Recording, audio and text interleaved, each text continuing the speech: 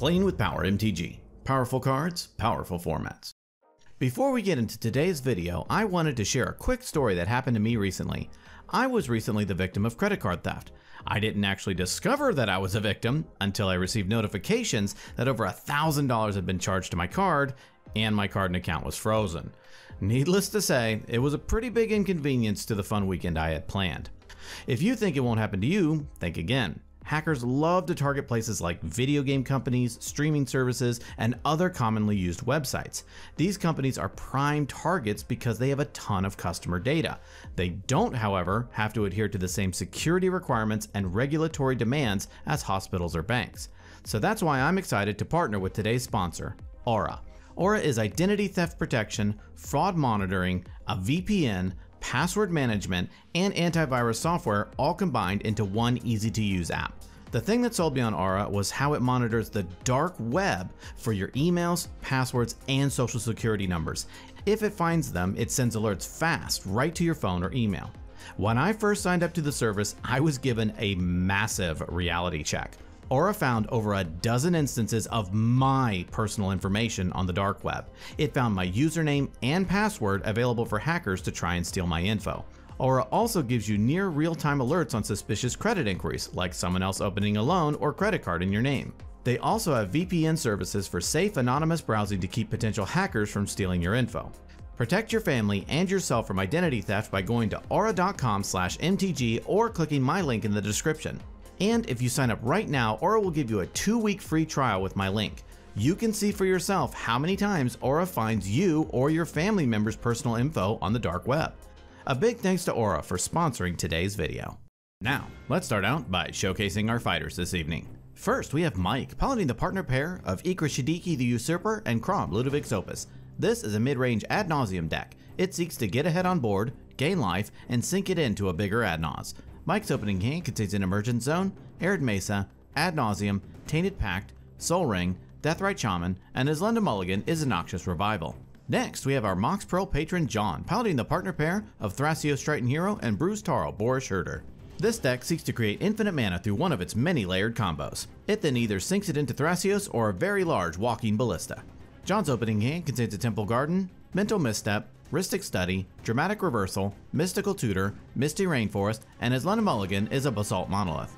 After that we have Ryan, piloting the partner pair of Tevesh Szat, Doom of Fools, and Kraum, Ludevic's Opus. This deck is a mid-range Grixis list seeking to gain a lot of card advantage before landing Adnos, Peer into the Abyss, or Underworld Breach. Ryan's opening hand contains a Vampiric Tutor, Lotus Petal, Mox Diamond, Swamp, Ancient Tomb, Mental Misstep, and a Sol Ring. Finally, we have Zach, piloting the partner pair of Tymna the Weaver and Kraum, Ludevic's Opus.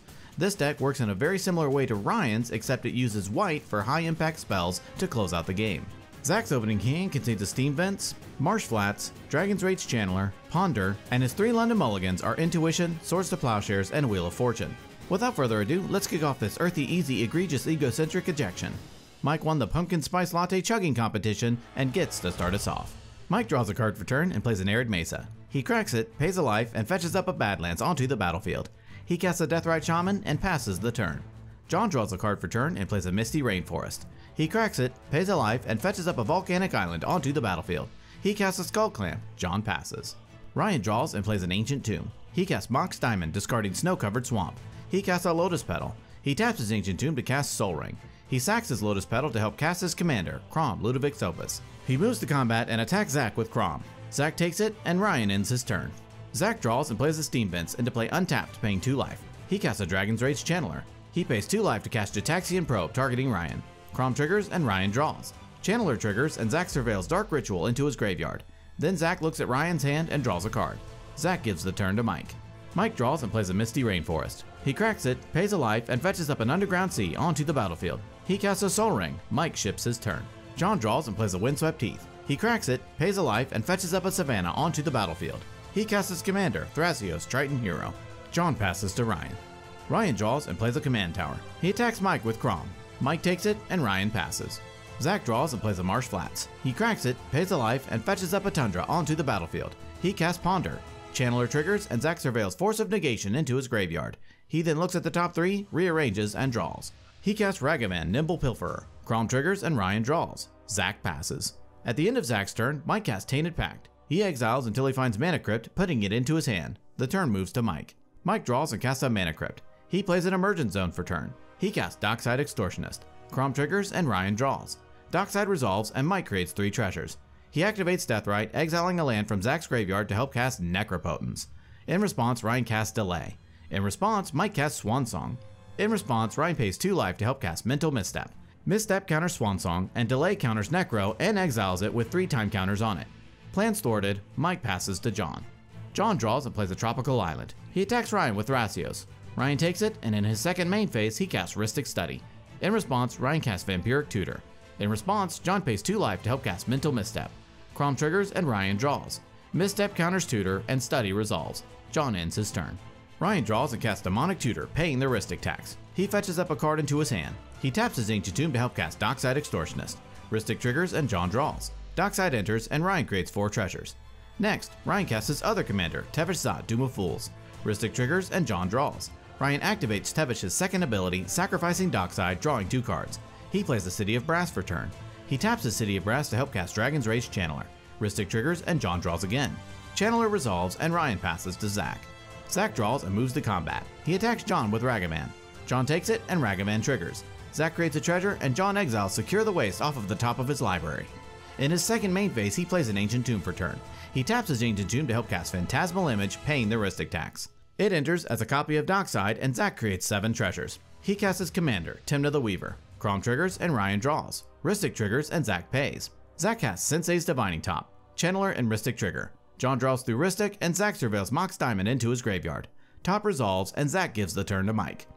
During his upkeep, Mike removes the time counter from Necropotence. Also in his upkeep, he wins his Mana Crypt roll. He draws and casts a Fellwar Stone, paying the Rhystic tax. He casts his commander, Kraum Ludevic's Opus. Rhystic triggers, and Mike activates Deathrite, exiling a land from Ryan's graveyard to pay for it. Kraum triggers, and Ryan draws. With nothing else, Mike passes. John draws and plays a Cephalid Coliseum for turn. He passes. Ryan draws and starts off his turn by casting Jeska's Will, choosing both modes targeting John. Rhystic triggers and John draws. Ryan adds 8 red and then exiles Ad Nauseam, Spire of Industry, and Windfall. Ryan taps the City of Brass to help cast Ad Nauseam from exile. Channeler, Kraum, and Rhystic all trigger. Ryan pays for Rhystic, Mike draws off of Kraum, and then Ryan surveils Arid Mesa into his graveyard. In response to Nas, Zach activates his top, looking at and rearranging the top three. With nothing else, Ad Nas resolves. Ryan reveals a Geist Wave, Wheel of Fortune, Pact of Negation, Demonic Consultation, Mox Opal, Snow Covered Island, Imperial Seal, Bloodstained Mire, Deflecting Swat, Talisman of Dominance, Culling the Weak, Dress Down, Gilded Drake, Rhystic Study, Wishclaw Talisman, Steam Vents, and a Force of Will, deciding to stop there. Ryan plays a snow covered island. He casts Mox Opal. Channeler and Rhystic trigger, John draws, and Ryan surveils, leaving it on top. In response, John casts Mystical Tutor, fetching up an Angel's Grace onto the top of his library. Ryan activates Tevesh's second ability, sacrificing Dragon's Rage Channeler, drawing two cards. He casts a Talisman of Dominance, paying for Rhystic. Ryan casts Thassa's Oracle, paying for Rhystic. It resolves, and with the trigger on the stack, Ryan taps his Talisman to help cast Demonic Consultation. He taps his Ancient Tomb to pay for the Rhystic. Consultation resolves, and Ryan exiles his entire library. With the Thoracle trigger still on the stack, John casts Teferi's Protection. Ryan sees his mistake as both Kraum's trigger. Mike draws from Kraum. Then Ryan attempts to draw from an empty library through Kraum, and since it's not a May ability, he loses the game. Teferi's protection resolves, and John's permanents phase out. The turn moves to Zach. Zach draws and plays a Verdant Catacombs. He cracks it, pays a life, and fetches up an Underground Sea onto the battlefield. He activates his top, rearranging the top three. He taps his Ancient Tomb to help cast his other commander, Kraum Ludevic's Opus. He attacks Mike with Kraum, knowing he would never block and lose his own Kraum. To everyone's surprise, Mike blocks Kraum with his own Kraum.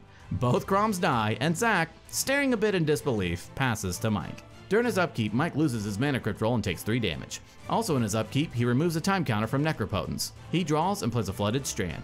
He cracks it, pays a life, and fetches up a tropical island onto the battlefield. He recasts his commander, Kraum. Mike ships the turn to John. John's permanents fades back in. John draws and plays a Tarnished Citadel. He equips Skull Clamp to his Thrasios and passes the turn. At the end of John's turn, Zach activates top, drawing a card and putting top on top. Zach draws and moves the combat. He attacks John with Ragavan, Tymna, and Dragon's Rage Channeler because it now has Delirium. Before blocks, Mike activates Deathrite Shaman, exiling a land from Zach's graveyard, having Channeler lose Delirium. Then John blocks Channeler with Thrasios. Channeler dies, John takes the damage, Zack gains 2, and Ragavan triggers. Zack creates a treasure, and John exiles Red Elemental Blast off of the top of his library. In his second main phase, Zack pays a life and draws a card through Tymna. He casts Red Elemental Blast from exile, targeting Rhystic Study, paying for Rhystic Study. Study is destroyed, and Zack taps his Ancient Tomb to recast Sensei's Divining Top. Kraum triggers, and Mike draws. Zack then uses his floating mana to spin the top, rearranging the top three. Finished up, Zack ends his turn. During his upkeep, Mike wins his Mana Crypt roll. Also in his upkeep, he removes the final time counter from Necropotence and casts it. Mike skips his draw step due to Necropotence. He plays a Breeding Pool into play untapped, paying 2 life. He activates Necropotence 23 times, paying 23 life and exiling 23 cards. He moves to his end step and puts the Necro cards into his hand. In his end step, he cracks his Emergence Zone, giving his spells flash until the end of turn. He activates Deathrite, exiling a land from John's graveyard to help cast Chain of Vapor, targeting his own Mana Crypt. Crypt bounces, Mike sacks a land and copies the chain, bouncing Fellwar Stone to his hand. He sacks a land, bouncing Sol Ring to his hand. He sacks a land, bouncing Necropotence to his hand. He flashes in a Mana Crypt. He flashes in a Sol Ring. He flashes in a Fellwar Stone. He casts Culling Ritual. In response, Zack sacks his treasures and floats mana. He also flips his top, putting top on top. Then Culling Ritual resolves, destroying all non-land permanents mana value 2 or less. Mike adds 4 green and 6 black. Skull Clamp triggers and John draws 2. Mike casts Crop Rotation, sacrificing Underground Sea and fetching up a command tower onto the battlefield. He casts Underworld Breach. He casts Notion Thief. He casts Windfall. In response, John taps his Tarnished Citadel to cast Angel's Grace. It resolves, and now Mike has to think of a way out. So, in response to Windfall, Mike escapes Mana Crypt. He escapes Fellwar Stone. He escapes Crop Rotation, sacrificing Command Tower and fetching up an Exotic Orchard onto the battlefield. He casts Mnemonic Betrayal. He exiles all of his opponent's graveyard. He casts John's Angel's Grace. Then Windfall resolves, each player discards their hand, and Mike draws 57 cards, which is his entire library. Mike doesn't lose the game, however, since he casts Angel's Grace. He casts a Lotus Petal. He casts a Jewel Lotus. He casts Mox Opal. He casts Chrome Mox, imprinting Toxic Deluge. He casts Mox Diamond, discarding Polluted Delta. He casts Mox Diamond from Zack's graveyard, discarding Verdant Catacombs. He casts Assassin's Trophy, targeting John's Cephalid Coliseum to make sure he doesn't die. John searches for a land and fails to find. Mike flashes in a mana vault. He exiles Simian Spirit Guide from his hand, adding a red. He escapes Final Fortune, getting an extra turn. He casts Noxious Revival, putting Thassa's Oracle onto the top of his library. Finally, all through, Mike passes, discarding to hand size. During his upkeep, Mike wins his Mana Crypt roll. He draws and casts Thassa's Oracle. Oracle enters, and with an empty library, Mike wins the game. What a crazy game. The team went again, so let's dive in. In this game, Zack brings back Tymna and Kraum, and his opening hand contains a Verdant Catacombs, Flooded Strand, Marsh Flats, Mystic Remora, Talisman of Dominance, Silence, and a Dockside Extortionist. Ryan brings back Tevesh Szat and Kraum, and his opening hand contains a Flusterstorm, Snow-Covered Swamp, Imperial Seal, Delay, Rhystic Study, Exotic Orchard, and a Dockside Extortionist. John brings back Thrasios and Bruse Tarl, and his opening hand contains a Wooded Foothills, Tarnished Citadel, Force of Vigor, Dockside Extortionist, Ledger Shredder, Fierce Guardianship, and his London Mulligan is a Consecrated Sphinx. Mike brings back Ikra Shidiqi and Kraum, and his opening hand contains a Flooded Strand, Gamble, Sol Ring, Gitaxian Probe, Mystical Tutor, Mental Misstep, and a Spell Pierce. And Zack gets to start us off. Zack draws and plays a Verdant Catacombs. He cracks it, pays a life, and fetches up an Underground Sea onto the battlefield. He casts a turn 1 Mystic Remora. In response, Mike pays 2 life to help cast Mental Misstep, countering Remora. Zack passes. Ryan draws and plays an Exotic Orchard. He casts an Imperial Seal. He fetches up a card onto the top of his library and loses 2 life. Ryan passes. John draws and plays a Wooded Foothills. He ends his turn. Mike draws and plays a Flooded Strand. He cracks it, pays a life, and fetches up a Volcanic Island onto the battlefield. He casts a Sol Ring and gives the turn to Zack. Zack draws and also plays a Flooded Strand. He cracks it, pays a life, and fetches up a Volcanic Island onto the battlefield. He casts a Talisman of Creativity. Zack ends his turn. Ryan draws and plays a Snow-Covered Swamp. He casts a Mana Crypt. He casts a Fellwar Stone. He casts a Rhystic Study. Ryan ships the turn. At the end of Ryan's turn, John cracks his Wooded Foothills, pays a life, and fetches up a Steam Vents onto the battlefield tapped. John draws and plays a Cephalid Coliseum. He taps it to cast Ledger Shredder. Rhystic triggers and Ryan draws. John ends his turn. Mike draws and pays 2 life to help cast Gitaxian Probe, targeting Ryan. Rhystic triggers and Ryan draws. In response, John casts Force of Vigor, exiling a green card, targeting Ryan's Rhystic Study and Mana Crypt. Rhystic triggers and Ryan draws again. Both are destroyed, then Gitaxian Probe resolves. Mike looks at Ryan's hand and draws a card. Next, Mike casts Gamble. Ledger Shredder triggers, and John connives Breeding Pool into his graveyard. Then Mike fetches up a card into his hand and then randomly discards a Gemstone Caverns. Mike casts an Arcane Signet and gives the turn to Zack. Zack draws and plays a Marsh Flats. He casts Talisman of Dominance. He casts Ragavan, Nimble Pilferer. Ledger Shredder triggers and John connives a reclaim, giving Shredder a counter. Ragavan resolves and Zack passes. Ryan draws and plays an Arid Mesa. He casts Dockside Extortionist. It enters and Ryan creates four treasures. He casts his commander, Kraum, Ludevic's Opus. Shredder triggers and John connives the Birds of Paradise into his graveyard. Kraum resolves and Ryan moves to combat. He attacks Mike with Kraum. Mike takes it and Ryan passes to John. John draws and plays a Tarnished Citadel. He casts his own Dockside Extortionist. It enters and John creates five treasures. He casts his commander, Thrasios, Triton Hero. Kraum triggers and Ryan draws. Shredder triggers and John connives Krark-Clan Ironworks into his graveyard. Thrasios resolves, and John ships the turn to Mike. Mike draws and casts Demonic Tutor. He fetches up a card into his hand. He casts Jeweled Lotus. Kraum triggers, and Ryan draws. Shredder triggers, and John connives. Mike cracks his Lotus to cast his own Kraum. Mike passes to Zack. Zack draws and casts a Talisman of Progress. He taps his Talisman to help cast his commander, Tymna the Weaver. Both Kraums and Shredder trigger. John connives, and then Mike and Ryan draw. Then Tymna resolves. Zack passes to Ryan. At the end of Zack's turn, Ryan cracks his Arid Mesa, pays a life, and fetches up a Steam Vents onto the battlefield tapped. Ryan draws and plays an Underground Sea. He casts Phantasmal Image. It enters as a copy of Dockside Extortionist. With the trigger still on the stack, John cracks his treasures and floats mana. Then Ryan creates five treasures. Ryan attempts to move through phases, and in response, John taps his Cephalid Coliseum to help activate Thrasios, scrying one and revealing a regrowth into his hand. Next, Ryan casts Diabolic Intent, sacrificing Dockside. Kraum triggers and Mike draws. Shredder triggers and John connives. Then Ryan fetches up a card into his hand. He casts Ad Nauseam. In response, John casts Fierce Guardianship for its alternate cost. In response, Ryan casts Flusterstorm with all copies targeting Fierce. Fierce is countered, and with Adnos still on the stack, Zack cracks his Marsh Flats, pays a life, and fetches up a Tundra onto the battlefield. He casts Dispel, targeting Adnos. With nothing else, Dispel counters Nas, the rest of the stack clears, and Ryan ships the turn to John. John draws and plays a Misty Rainforest. He cracks it, pays a life, and fetches up a Savannah onto the battlefield. He taps his Tarnished Citadel to help cast Grand Abolisher. He moves to combat and attacks Mike with Ledger Shredder. Mike takes 6, and John passes the turn. His upkeep, Mike casts Mystical Tutor, fetching up an Ad nauseam onto the top of his library. He draws and casts Cabal Ritual with Threshold. Shredder triggers, John connives, Kraum triggers, and Ryan draws. Then Mike adds 5 black. He casts Ad Nauseam. With no answers from the table, it resolves. Mike reveals a Fierce Guardianship, Ancient Tomb, Rhystic Study, Cyclonic Rift, Flusterstorm, Crop Rotation, Necropotence, Ragavan, Dockside Extortionist, Lion's Eye Diamond, Counterbalance, Wishclaw Talisman, Imperial Seal, and a Taiga, deciding to stop there. He plays a Taiga. He casts Dockside Extortionist, creating four treasures. He casts Lion's Eye Diamond. He casts Yawgmoth's Will. He holds priority and cracks his LED, discards his hand, and adds three red. Everyone knows this is game over for the table, so they begin to discuss what to do. This is the time to act since Mike has no cards in hand. After some deliberation, John cracks his Cephalid Coliseum, targeting Ryan, hoping he can find an answer.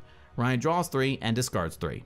Unfortunately, he couldn't find interaction, and Yawgmoth's will resolves. Mike casts Lion's Eye Diamond from his graveyard. He casts Cabal Ritual from his graveyard, adding 5 black. He cracks his LED, adding 3 blue. He casts Demonic Tutor from his graveyard. He fetches up a card into his hand. He casts Wishclaw Talisman from his graveyard.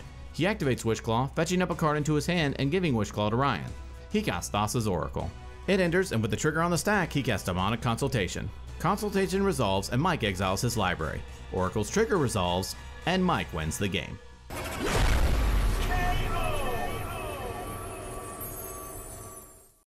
Ladies and gentlemen, what a fun set of games tonight. Congrats to Mike on both of his wins. Mike played his seat position very well this evening. It was a perfect example of winning second. Wait until everyone spends their interaction on the player trying to win and then swoop in for the kill right afterwards. He executed his plan very well, even when disrupted, and it spelled victory for him tonight. If you like this video, please give it a thumbs up. If you want to see more like this, be sure to subscribe. Well, that about wraps it up for this episode. Tune in next time when we duke it out to see who will be king of the competitive EDH table. Thank you so much for watching, and we will see you next time.